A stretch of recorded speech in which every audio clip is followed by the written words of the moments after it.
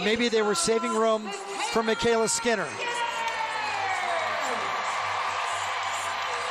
MyKayla Skinner is top 10 in the country on this event. She's won three times. Last year, she won the Pac 12 championships. The year before, she was the NCAA champion.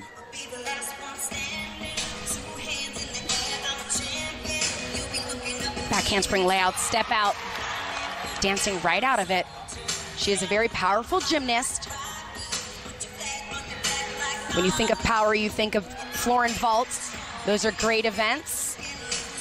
Balance beam is all about control, so her skills have a lot of amplitude. I want to correct myself, Amanda. I was reading her floor notes. Those are floor notes that I read, not beam, but she's won twice on this event and four times 9 8 plus.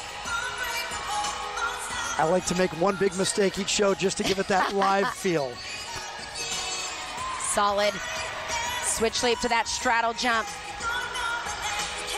Tom Farden joins the party at the beam. She has a big dismount.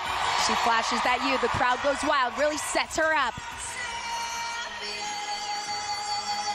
She's got to get a precise takeoff. They just need this to finish their best beam rotation of the Wow. year. And look at Farden says, get on your feet. We talked about UCLA and all the tens, and I said, has MyKayla Skinner gotten one yet? I don't know. That routine was beautiful, start to finish. She's got incredible difficulty, too, which I always love to see on the balance beam. Back handspring layout, step out, snapping those arms, moving right into the dance, but impressive dismount, double tuck. It is risky because it's hard to stick. She did it.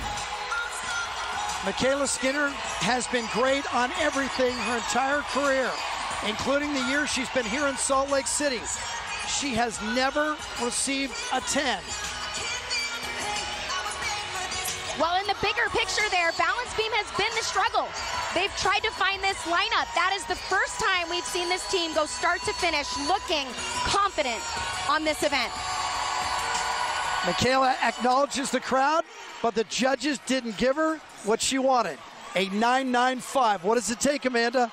Well, I- think it was an unbelievable routine, but the